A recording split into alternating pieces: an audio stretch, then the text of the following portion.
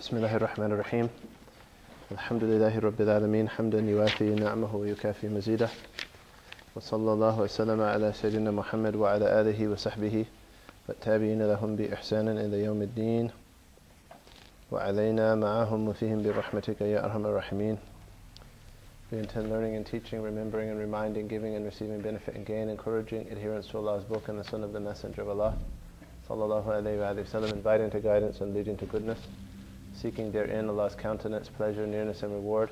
Transcendent and exalted is He. We intend what the author, our teachers, and the pious have intended, and what Allah knows of virtuous intentions, and we ask Allah subhanahu wa ta'ala to accept. La ilaha illallah. So we're continuing in uh, Fiqh of Tahara and Matan Abi Shuja'. We continued last week discussing purifying things from filth, or you could say removing filth. So we mentioned a number of categorizations. So what is meant by um, what is meant by imperceptible filth? Hukmiya, najasa hukmiya. That's filth is um, it's been washed and there's none of the signs of it, taste or smell. And, Or color. it's dry. Tamam. So hukmiya, it, it's not a condition that it have been washed. It could merely, um, the, the taste, color, and smell could have merely vanished another way or not have actually been there in the first place. But basically, najasa hukmiya, or imperceptible filth, is filth uh, that doesn't have any perceptible qualities of taste, color, or smell. So it's just there, it's a ruling of impurity in that place or on that object. However, it doesn't have perceptible attributes, um, though it still needs to be washed. Ya khair. So then, what about um, filth that is difficult to remove? First of all, what does it mean uh, for filth to be difficult to remove? that after after a normal attempt of uh, washing, that you still have uh, you're still able to to smell or to, to taste. But there's no other way you call it. So, what does a normal attempt of washing mean? And does, is there any other additional detail? One or two or three up to three washes with water Three washings with water. and elbow grease. There you go. And what else?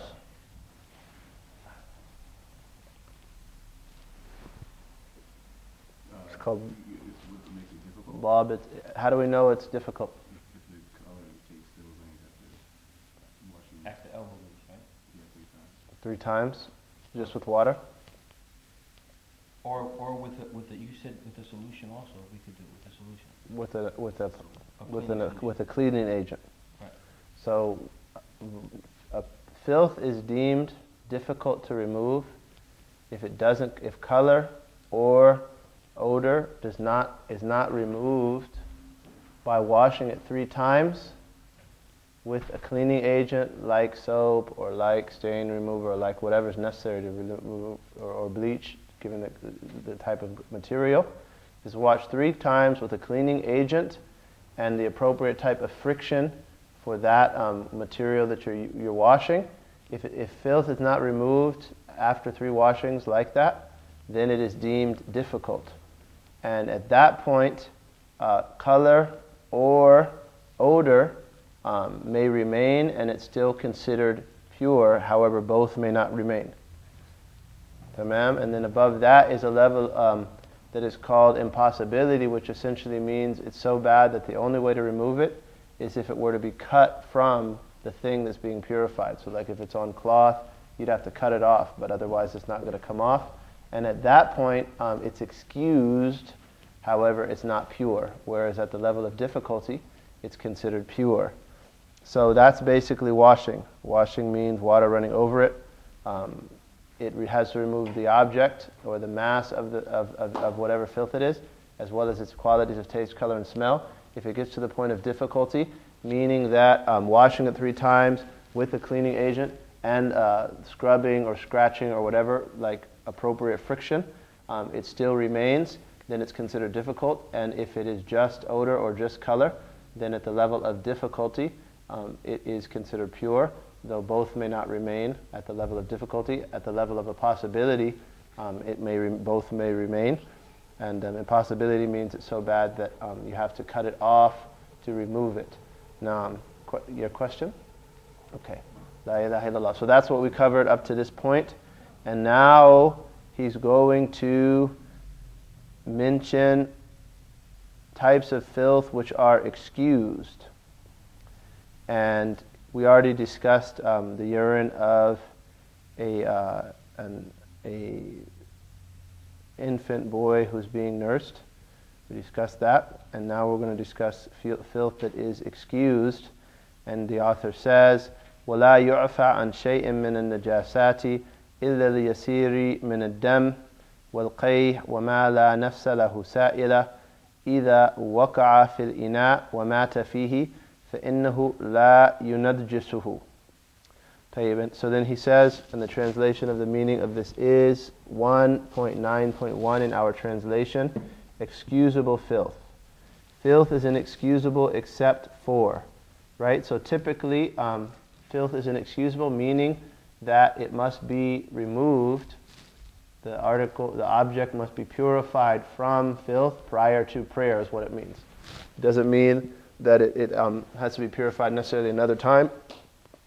But for prayer, one must, as we will see, inshallah ta'ala, with uh, blessing in our lifespan and time, that your body, clothing, meaning all that you're carrying in the place of prayer, must be pure in order to pray. Otherwise, the prayer is invalid.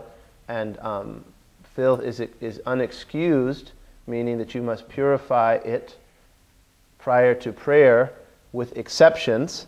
And he's going to mention some of the exceptions that are excused, and we will also mention others. And also, um, some types of filth are excused in water, um, but not in prayer, meaning that they don't render water impure.